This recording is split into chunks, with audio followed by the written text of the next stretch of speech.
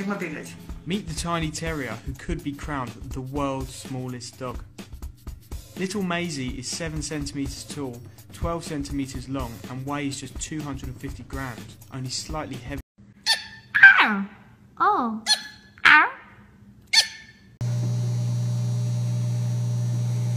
Well, they're three weeks old.